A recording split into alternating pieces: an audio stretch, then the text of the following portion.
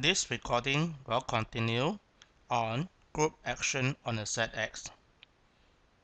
The two key points of this video are the definition of fix of G or X sub G and the example based on John Fraleigh's text 16.8 and exercise 16.1. What is a fixed set of G? If a group G acts on a set X, then for each element G of the group G here, the fix of G is all the element X in the set X here such that G cap X is equal to X. This expression looks very similar to the stabilizer, but we are looking for element in the set X now. In John Fraleigh's text, it is denoted by X sub G. I'm going to use an example found in 16.8 when D4 X on the set X where X is taken from the square.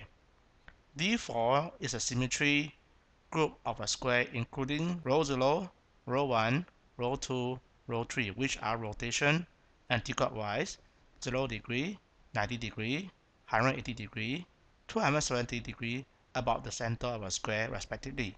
Where mu1 is a vertical reflection, mu2 is a horizontal reflection, delta 1 is a reflection and diagonal in the line D1, and delta 2 is a reflection in the line D2 and x is taken from the square consists of four vertices 1, 2, 3, 4 and four sides s1, s2, s3, s4 and two diagonal d1 and d2.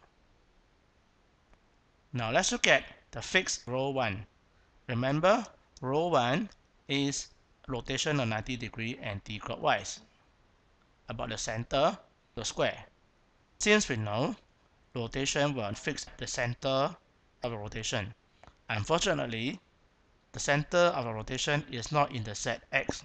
So therefore, the fix of rho 1 is empty.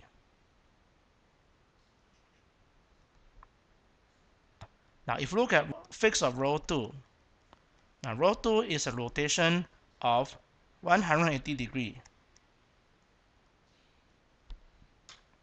So if you try to figure out what are the elements inside the set such that after rotation of 180 degree, you still get back the same. Now this time, it is not empty. Beside the center of the square, which is not inside the set X, we find that D1 and D2 will remain fixed after you rotate 180 degree about the center of the square.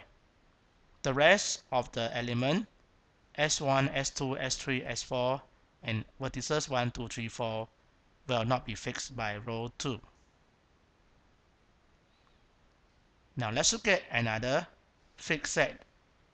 Fix a mu1, where mu1 is a reflection in a vertical line bisecting the square. What element will be fixed after this reflection? Well, we know that S3 will be fixed after this reflection. You can see from the diagram, S3 will be fixed after reflection. And similarly, S1 will be fixed after this reflection. The rest of the sides and diagonal and the vertices will not be fixed. Now let's look at another fixed set, fix of delta 1, where delta 1 is a reflection in the line along D1. So which element of the set X will be fixed by delta 1? Obviously, D1 will be fixed by delta 1. Now, D2 is this line.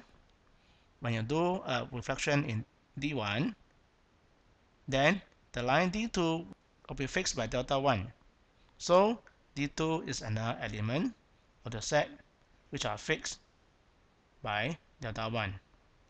Other than that, the rest of the size S1, S2, S3, S4, and vertices 1, 2, 3, 4 are not fixed by delta 1.